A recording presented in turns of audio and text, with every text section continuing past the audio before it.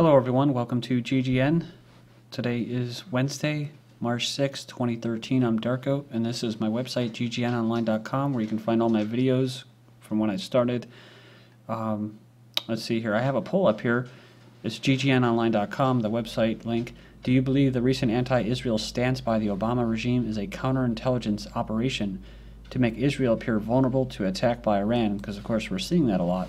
Uh, you know, you're saying a lot of things. Obama acting like he's anti-Israel, the whole thing with Hagel, and uh, but their actions are what they completely financially and militarily, politically support them. So so far, 80% uh, say yes, and 10% are saying no, followed by 10% saying not sure. Hagel to Barak of Israel, U.S. will keep up aid to Israel despite fiscal troubles. On Iran and Syria, Hagel reassures Barak that all options are on the table. So the new Secretary of Defense met with the Israeli Defense Minister on Tuesday at the Pentagon to reassure him that the diplomatic window on Iran is closing and that despite tough fiscal times in Washington, uh, the exorbitant amounts of aid to Israel would not be affected. According to the Pentagon, Hagel expresses strong commitment to Israel's security, including maintaining Israel's qualitative military edge and continued U.S. support for missile and rocket defense systems, that's Iron Dome, in spite of fiscal constraints. Hagel and Barak, the Pentagon uh, statement adds, that uh, agreed that the United States Israeli defense relationship has never been stronger than during the Obama administration, and that both nations will continue this unprecedented close uh, cooperation. The observers who expected Hagel, who had a reputation for issuing harsh criticisms of Israel, to differentiate the U.S. relationship with Israel, at least slightly, have thus far been disappointed by his close adherence to the Obama administration's approach over the last four years homeless population in New York City reaches record, uh, what is this, 50,000 people. New report reveals the number of people living in homeless shelters in New York City has surpassed 50,000 people at night, a record high for the city and 19% jump from last year. It says here it's a reflection of a broader national trend of homeless people. It says a startling numbers show up a sharp increase in child homelessness, with more than 21,000 children forced to seek shelter each night in January. And this is what they do, right? Louisiana health officials order shelter to throw away 1,600 pounds of venison. That's right. Remember, Louisiana ordered to destroyed by health and hospital officials. And why? Because it's not protocol. It's not permitted. They must protect the people who eat at the rescue mission. Cannot allow a potentially serious health threat to endanger the public. Britain to provide further assistance for the terrorists in Syria. Britain is to boost assistance to insurgents in Syria, providing them with military equipment, says British Foreign Ministry, uh, British Foreign Secretary, sorry, William Hague. 13 million pounds.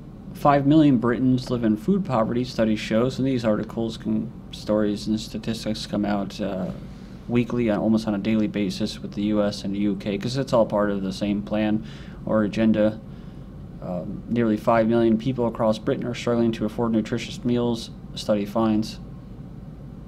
It says 4.7 million people out of Britain's 60 million spend at least 10% of their income on food. The study says job losses, benefit cuts, and rising food prices have led to a food crisis in the UK in which families are now spending 20% more on food than five years ago, but at the same time eating 7% less. Yeah, I just covered yesterday about how in the UK and in the US, uh, at least in the US for women, uh, that the uh, life expectancies are going down. So don't let them fool you when they keep saying that you're living longer, you're living longer. No, those people that can afford to live longer will and are. Kerry says U.S. more confident arms are flowing to Syrian moderates. U.S. Secretary of State John Kerry said on Tuesday Washington was increasingly confident that weapons being sent to the Syrian opposition by other countries were going to moderate forces. Weapons sent to Syrian opposition are in safe hands, says Kerry. So Kerry just uh, what passed the sixty million dollar aid uh, package as well.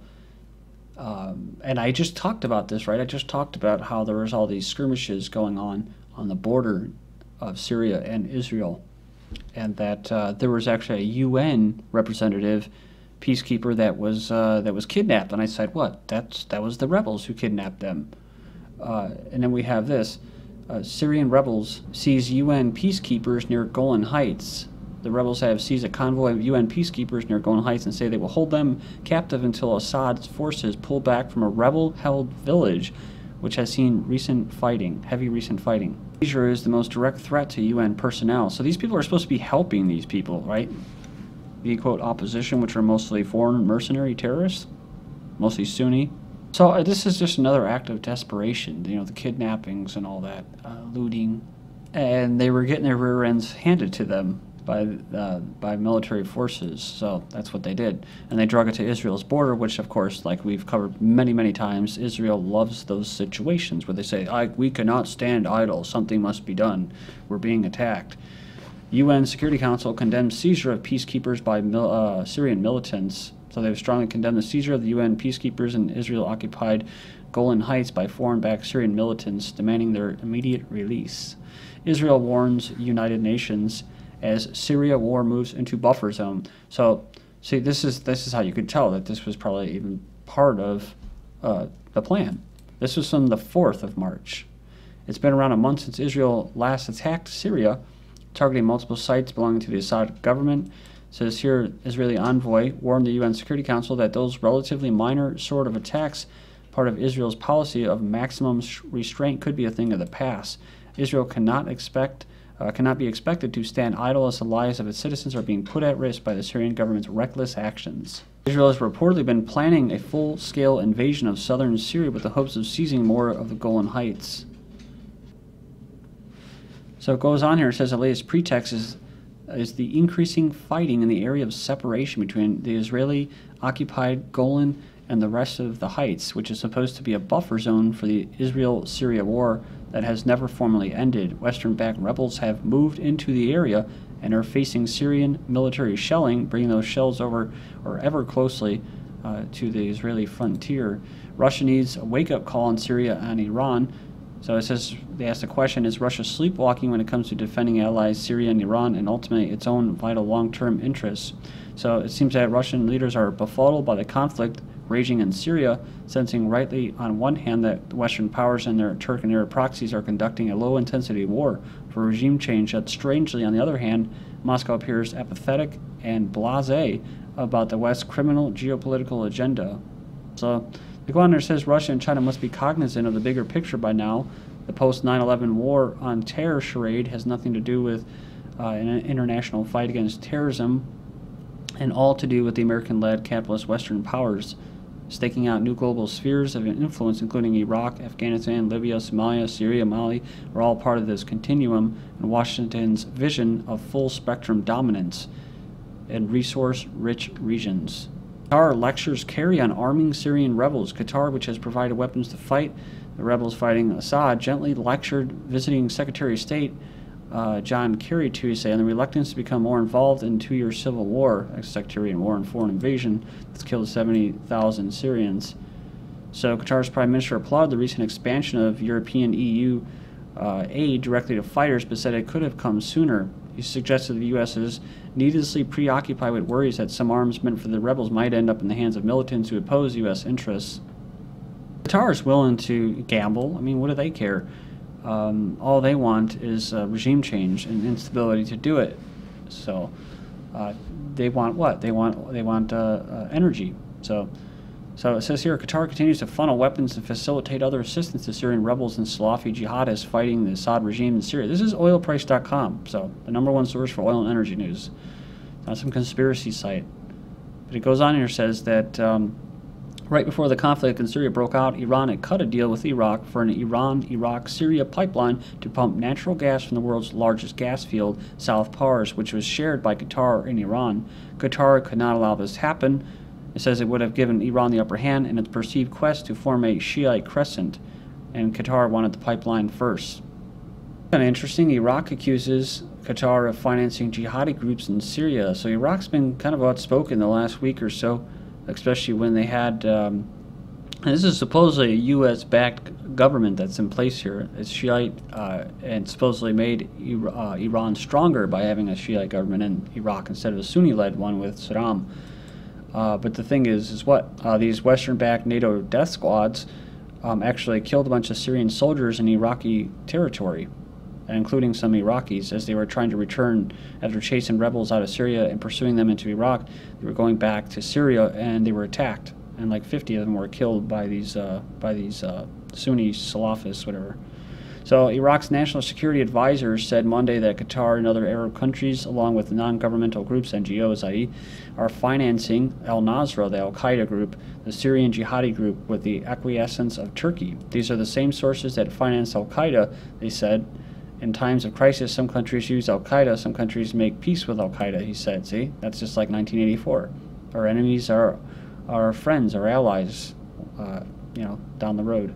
But the Iraqis were keen to stress that they were bear no goodwill towards Syrian President Assad, whom they say caused a lot of suffering over the years in Iraq, and that they sympathize with the suffering of the Syrian people. Again, I'm not a local there. You know, I, I don't know what the situation on the ground is. But like I said, is that the Western-backed government saying that? Um, or is that them really saying that? Who knows? I guess only they do. New gas pipeline will connect Iran and Syria so Iraq on the February 19 gave its okay for construction of a natural gas pipeline across its territory connecting Iran to Syria.